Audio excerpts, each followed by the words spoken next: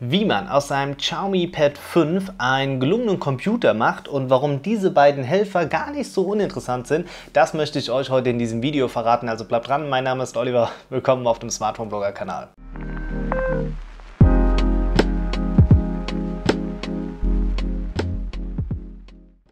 Damit willkommen zurück auf dem Smartphone-Blogger-Kanal. Wie immer vielen Dank, dass ihr mit dabei seid. Ihr seht hier schon meine Helfer auch aus dem Intro. Wir haben ein Magic Type Cover und nochmal ein Xiaomi Pen, der dann exklusiv für das Xiaomi Pad 5 ist. Ich habe das Ganze ja schon mal in einem vorherigen Video getestet. Ähm, meine Eindrücke dazu findet ihr dann hier oben irgendwo. Und diese Produkte wurden mir dank Trading Shenzhen zur Verfügung gestellt. Das hat allerdings keinen Einfluss auf meinen Eindruck äh, ja, der Produkte. Doch ihr wolltet unter anderem auch wissen, wie kann ich denn jetzt aus dem Xiaomi Pad 5 einen Computer oder zumindest einen Laptop-Ersatz machen. Und das ist relativ einfach, denn unten in der Videobeschreibung findet ihr den Link zu der APK.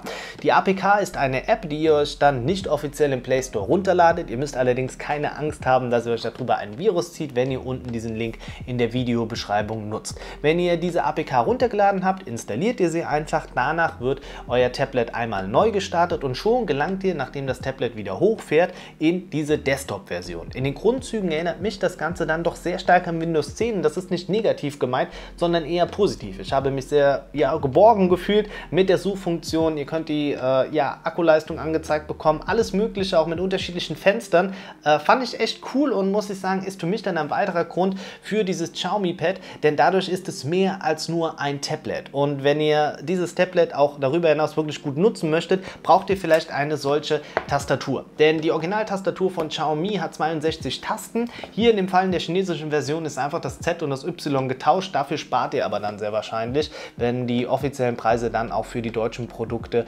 bekannt sind. Ähm, das Ganze wird dann magnetisch gehalten, heißt das Tablet ist magnetisch in dieser Hülle dann drin. Es rutscht nicht und wenn ihr es dann nach vorne einklippt, äh, verbindet direkt das Tablet mit der Tastatur und schon könnt ihr anfangen zu schreiben. Die Druckpunkte sind gut gewählt. Es ist jetzt aber auch keine Innovation. Also Xiaomi setzt hier auf etwas altbewährtes, das auch gut funktioniert.